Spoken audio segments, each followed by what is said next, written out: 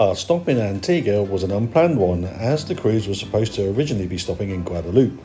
Add to that a cancelled excursion at an hour's notice and a very early departure time at 2.30, we decided that the best way that we could make the most of the day was to explore the town of St John's on foot.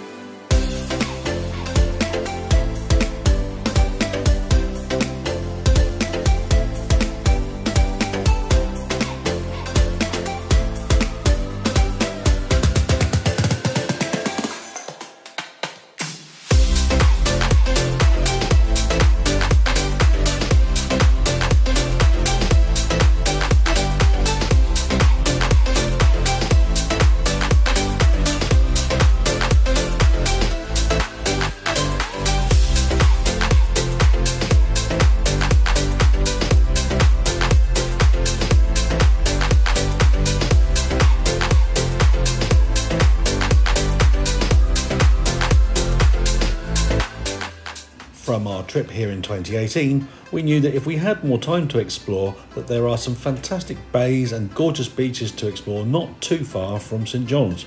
But given the very limited time we had, we decided to head back to the ship and chill out for the afternoon.